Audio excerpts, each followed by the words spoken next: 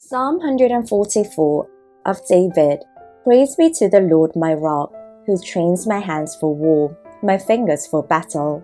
He is my loving God and my fortress, my stronghold and my deliverer, my shield in whom I take refuge, who subdues peoples under me.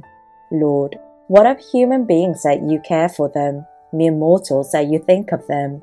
They are like a breath, their days are like a fleeting shadow. Part your heavens, Lord, and come down. Touch the mountains so that they smoke. Send forth lightning and scatter the enemy. Shoot your arrows and rout them. Reach down your hand from on high.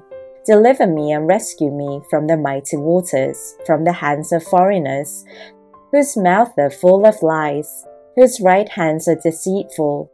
I will sing a new song to you, my God. On the ten stringed lyre I will make music to you to the one who gives victory to kings, who delivers his servant David. From the deadly sword deliver me, rescue me from the hands of foreigners, whose mouths are full of lies, whose right hands are deceitful.